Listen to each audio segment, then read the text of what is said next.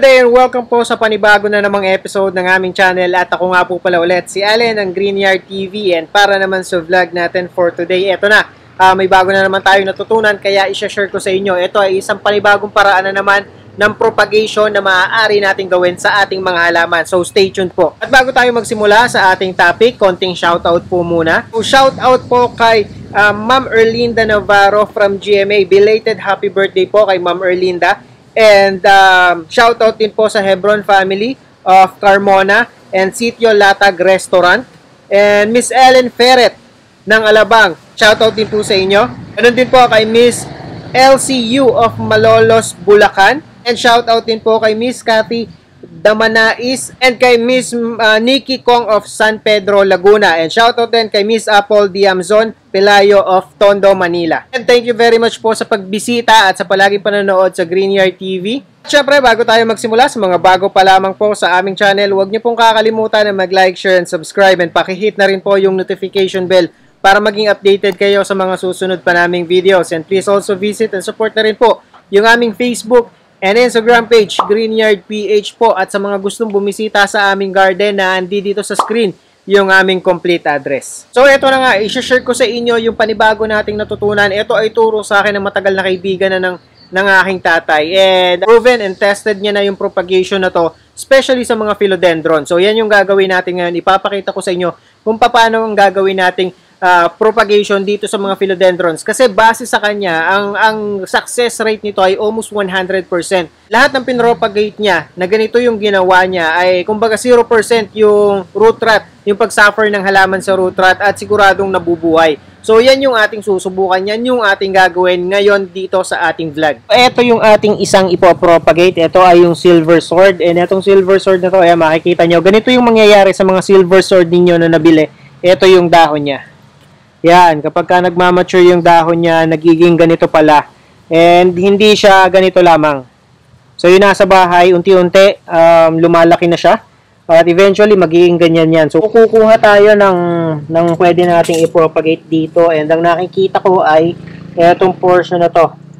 Since maganda na siya kasi may aerial root na cut natin siya dito. At yan yung ating kukunin. Kasi ito, kukuha lang nila dito. Oh. So dito tayo puputol naman ngayon. Yan.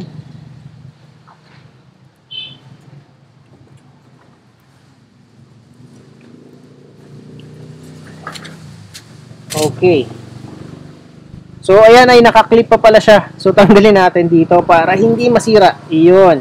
Ito na yung ating nakuha. Hindi mo sasabihin na um, hindi mo sasabihin na yung kumbaga talbos pa lang or mura pa. Although may possible siyang bago kasi syempre pagka naman nagpo-propagate tayo or kukuha tayo ng cuttings, lagi talagang ibabaw eh. Bukod doon, may mga mature na dahon na rin naman kasi siya kaya um, okay na siya. Kukunin ko din sana itong isang to kaya lang ayan oh, iisa kasi yung dahon. So pabayaan na muna natin siya. Uh, okay na muna tayo dito sa isang to. Kukuha na lang tayo ng iba pang halaman na pwede nating i-propagate. And nakikita nyo naman, ayan, may aerial root na. Uh, mas safe kasi mas okay kasi pagka ang kukunin natin ay yung ganito ng may aerial root. Ibig sabihin, medyo nag-mature na yung halaman natin. And ito, kukuha rin tayo ngayon sa ating tetrasperma ng ating ipopropagate. So, dito tayo ngayon kukuha. Ito, yan. Kasi ito, talbos sa talbos pa siya. Although may aerial root na, pero para mas safe, dito tayo bumawas. Kunin lang natin ang ating cutter. Okay. Ito na yung nakuha natin. Try natin kung makakakuha pa tayo ng isa. And ito pa yung isa, pwede natin itong putulan or bawasan. Makikita nyo naman, ganun din. Ito yung una, kaya lang medyo bata pa talaga. Makikita ninyo, uh, sariwa pa tong dahon niya. Oh, kalalabas lang ng bagong talbo. So dito rin natin siya puputulin sa pangalawa. Ayan. Okay. And ayan, since nakakuha na tayo ng ating ipopropagate, ano ang gagawin natin? Saan natin siya ipopropagate? At ano yung mga kailangan natin gamitin para matapos natin yung propagation natin? And ang kailangan lang natin, syempre, yung pot na paglalagyan at saka yung moss. So wala tayong kahit na anong idadagdag kundi moss lamang. Yun yung gagamitin natin na parang pinaka alternative dun sa soil propagation na ginagawa natin. So, ito, moss yung pinaka number one material na kailangan natin dito. And since uh, kumuha na lang tayo pala ng, ano, ng paso na gamit na, kasi dito naman natin siya paugatan. And makita nyo naman, uh, maganda naman yung kanyang drainage holes, kaya tatagos yung ating uh, ididilig. Hindi siya maipunan ng tubig. At saka nilagyan ko na rin ng petsa kung kailan natin siya pinropagate para alam natin at matandaan natin kung um, kailan yung kauna-unahang araw na pinropagate natin siya at malaman natin kung gaano katagal bago siya nagkaroon ng ugat. Kapag bumili kasi tayo ng moss, ayan, ganito ang itsura niyan at saka tuyo. So bago natin siya gamitin, ibababad muna natin siya sa tubig. And dito, meron tayong santabong tubig. At dito natin siya ibababad yung ating moss. Yan. Kasi dry talaga yan eh. Uh, sobrang tuyo. Tuyong tuyo. And yun nga, medyo may kamahalan. Itong uh, moss pala na to. So yan. Pagka nababad na natin ganyan, kukuha na tayo ng pasong paglalagyan. So, mas maganda kung halimbawa magbababad na kayo ng moss bago kayo kumuha ng cuttings ninyo. Para yung moss na, eto, itong, para nakaprepare na yung moss na gagamitin ninyo. Kapag ka, halimbawa nakakuha kayong cuttings, ready to use na kasi naibabad nyo na siya doon sa, sa tubig. And yan, walang kahit na anong halo etong tubig na to. Moss lang talaga na ibinabad natin. At pagkatapos, since bubuhayin pa lang naman natin, at pauugatan. Kasi ang moss medyo may kamahalan yan kung bibilhin natin. Kaya para makatipid tayo ng konti, mas maganda kung small pot lang yung gagamitin natin katulad nito. Ayan. So small pot lamang kasi papaugatan pa lang naman natin eh. And kapag ka may ugat na siya at kailangan na natin siyang iripat, so tsaka natin siya ilata-transfer sa much bigger pot. Antayin nyo lamang itong moss nyo. Um, mag-intay lang tayo ng hanggang 10 minutes para at least talagang babad na babad yung ating moss. At pagkatapos, pwede na natin siyang gamitin. Lagay na tayo ng moss dito sa ilalim para hindi naman nakasagad sa, sa pinakailalim yung ating uh, halaman. Pagkatapos, ang gagawin lang naman natin dito sa ating silver sword, ang gagawin natin dito, babalutan na natin siya ng pinaka-moss mismo. Bago natin siya isiksik dito sa pinaka uh, paglalagyan niya sa paso. Then, after that, tsaka natin siya sisiksikin o lalagyan ng uh, moss pa hanggang sa mapuno. Kaya mas maganda, mas advisable kung mas maliit yung pot na gagamitin natin para hindi masyadong matakaw sa moss. Kasi pagka malaking pot, eh, since um, pinapaugatan pa lang naman natin, marami tayong magagamit. Uh, no need na sa diligyan ha. Siyempre, nakababad na sa moss yung ano natin eh. Yung, yung ating uh, pinaka moss. Nakababad na pala sa tubig yung ating moss. Punuin lang natin. And kita nyo naman, eksakto lang din sa ating philodendron um, silver sword yung pinaglagyan niya na pot. And ito, ang ano lang natin dito, ang pinakagagawin lang natin dito, since wala nga siyang kahit na anong halong rooting hormone, and sabi, mga 2 to 3 weeks may ugat na yan, magiging established na yan. So, yun yung titingnan natin. At pagkatapos, ang lagi lang nating tatandaan at iiwasan, huwag nating hahayaang maging totally dry itong ating moss. So, yun yung pinaka-advice sa akin. Huwag mong hahayaang matuyo yung moss na inilagay mo. Kasi, doon maaaring mamatay o pumangit yung halaman na i uh, ipinropagate mo. Tapos na tayo sa silver sword. So, iintayin na lang natin siya. Kita nyo naman, eh, kumakatas na kasi uh, madaming holes tong ating ginamit na pot. So, ito itatabi natin. Set aside muna natin tong isang to. Pagkatapos, lipat naman tayo dun sa ating tetrasperma. Ito yung ating tetrasperma. So, ito yung aerial root niya. Ito yung isa. So, ito, ayan, kaya kinuha natin na medyo mas mahaba, mas safe pa kasi masyadong mura itong nasa pinakaibabaw. So, sinama natin tong isang to. So, ganun din yung ating proseso na gagawin. Set aside natin to. Kuha tayo ng moss. Ayan, may nakaprepare na tayo dito. May nakababad na tayo sa tubig. Lagyan lang natin ng konti sa ilalim. Pagkatapos, babalutan na natin siya. So, no need na po ha sa rooting hormone. Na natin kailangan lagyan ng rooting hormone itong ating tetrasperma o itong ating pinropagate na to. So, ibig sabihin lang nito, talaga napaka-effective ng moss pagdating sa propagation. Kasi 'di ba, may mga video, may mga vlogs din naman akong ginawa. Kadalasan nga lang, yung ginagawa kong yun ay more on ano tayo, um, air layering yung ginagawa ko o yung markot doon sa mga halaman na ginagamitan natin ng moss. Katulad na lang nung sa rubber tree.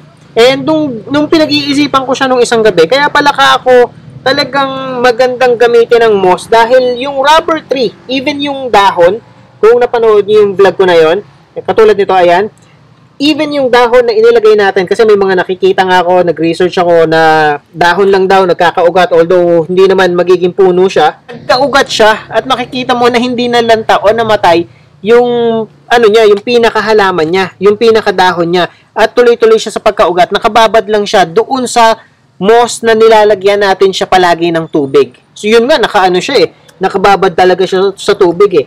And yun, kaya pala very effective itong uh, moss. So kaya pala yan ang laging ginagamit uh, pagdating sa mga air layering. So yan, ang kaganda mo dito, kahit yung isang aerial root dito sa pinakaibabaw, natakluban din natin ng moss. And katulad nung isa, huwag nating hahayaang matuyo. And mo-monitor natin to araw-araw kung ano yung magiging progress niya. And ito pa yung isa nating tetrasperma na itatanim. Kunin natin tong ating binabad na moss. Lagyan natin yung pinakailalim muna. Pagkatapos, kunin natin itong ating um, genie. Monstera genie. So yan, kita nyo, binabalutan natin ng moss.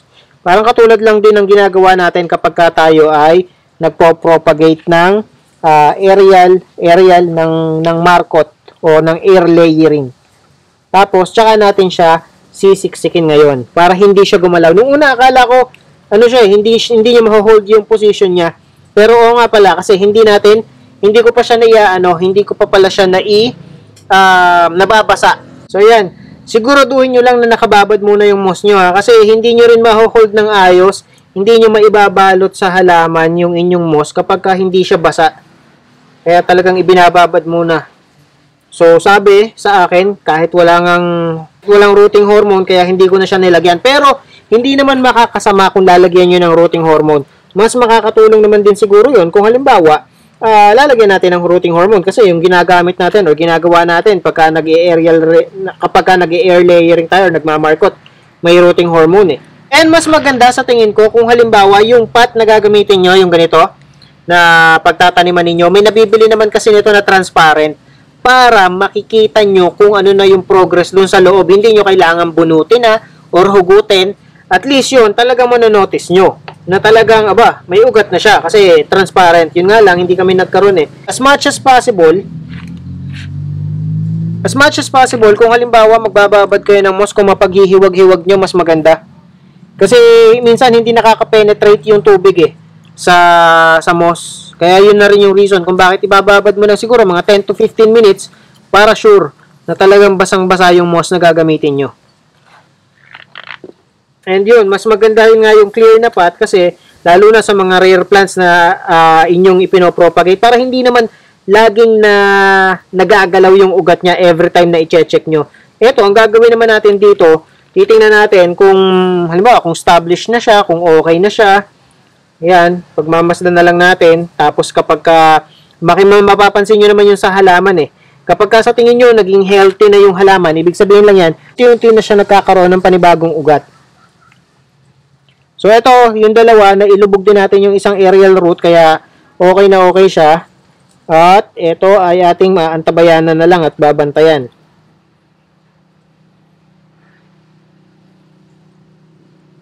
Ayan, tapos na tayo. Sa ngayon, ito muna yung ipopropagate natin. Pero eventually, sa mga susunod na araw, gagawa naman ako ng, or magta-try naman ako nito sa mga ibang klase ng halaman, sa mga hindi philodendrons. Kasi sa tingin ko, effective siya eh, kahit hindi naman philodendrons yung gamitin natin.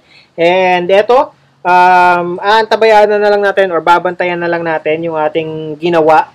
Ayan. And ang monitor lang naman ito, ang checking lang naman ito ay yun. Check nyo lang kung moist pa ba, may moist pa, basa pa yung yung moss na inilagay natin, wag, wag na wag hahayaan na matutuyo kasi syempre hindi magiging established at maaaring mamatay yung ating mga itinanim. And kasi nga, kaya naman siya uh, very effective ang moss kasi kaya niyang mag-keep or mag-maintain ng moisture sa sa kanya. At the same time, hindi rin siya nag nag nag-store ng too much water, hindi rin siya nag-hold ng too much water. Kaya hindi siya prone yung mga pinropagate natin hindi siya magiging prone sa root rot. Kaya yun yung isang maganda. And make sure yung pot na gagamitin natin, check nyo palagi, maganda yung kanyang drainage holes. Marami para hindi talaga maiipon kahit sa ilalim yung tubig niya. So yun lang yung mga dapat nating tandaan and maghihintay na lang tayo ng how many, 2 to 3 weeks. And tingnan natin kung ano yung magiging progress nitong ating mga uh, pinropagate. At isa pa nga po pala, huwag nyo hahayaan na ilagay sila or wag na wag niyo siyang ilalagay sa mga direct sunlight as much as possible sa sa filtered sun or dun sa mga bright but indirect sunlight na spot nyo siya ilagay uh, since sin ini-establish pa lang natin itong mga halaman na to. Kasi maaari talaga or talagang masusunog yung mga dahon niya kapag ka inilagay natin siya sa spot na, na tinatamaan ng direct sunlight. So yun lamang po and I hope nakatulong at nag-enjoy kayo sa panonood ng video na to. And again, sa mga bago pa lamang po sa aming channel, huwag niyo pong kakalimutan na mag-like, share, and subscribe and pakihit na rin po yung notification bell para maging updated kayo sa mga susunod pa naming videos and please also visit and support na rin po yung aming Facebook and Instagram page, Greenyard PH po. So magkita-kita po ulit tayo sa susunod na episode ng Greenyard TV and thank you for watching.